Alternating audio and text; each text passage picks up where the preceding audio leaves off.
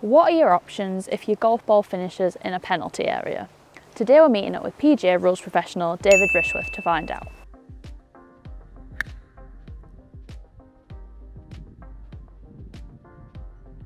So this one's fairly simple because it's on grass and we're probably going to play yep, it. that- But if we go into the actual penalty area here, I can still play it from here. you can still play it, yep. There's no problem there. And I am actually allowed to ground my club You as can ground your club, yes, that's right, and you can move anything, loo- uh, anything loose again.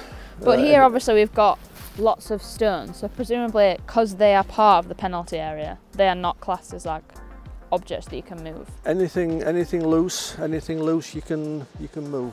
Okay. Perfect.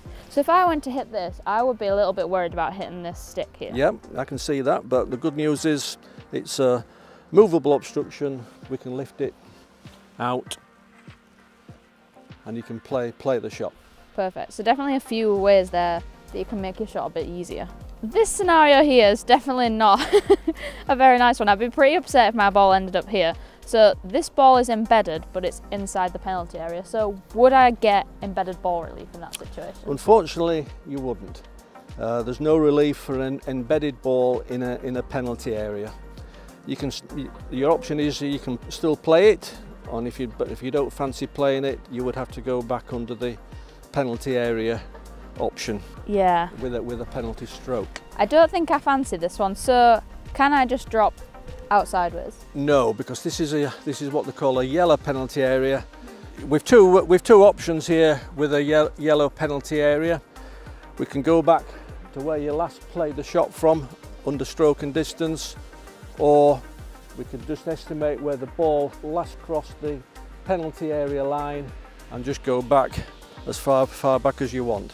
Yeah, I don't fancy playing this shot again, so I think I'm gonna no. Okay. go back Yeah. So you can just pick Pick your ball up. Do I need to mark this before I pick No, because we're not replacing it. And I can clean it. Yeah, you can certainly clean it. Thank goodness for that. As I said, you will have to estimate where you, where you think it crossed, then put a T-peg down for reference point. So I think the last place it crossed would be about here. Okay, So I put that directly in line Correct, with these yep. sticks. that's good. And then, as long as we're playing back over the penalty area, that's uh, that's all we need need to do. And you can come back as far back as you want. You can drop it as near to the T-peg as you want, or you can come back straight back on line with the flag.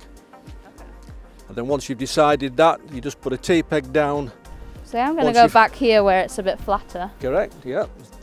Put your T-peg down and then you can drop the ball or another ball within a club length Each side. each side, yeah.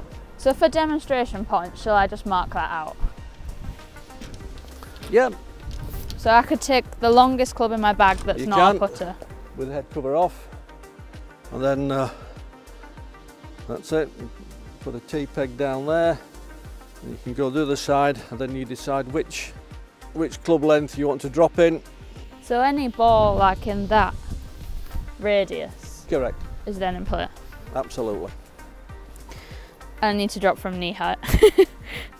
Knee height, the ball has to be dropped in the club length and stay in in the club length.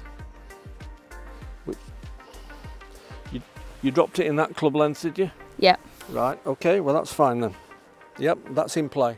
So if it rolls out, I just re-drop. You re-drop it. If it rolls out again, you would place where it last crossed the, or last uh, where it last ground. landed. Yeah, perfect.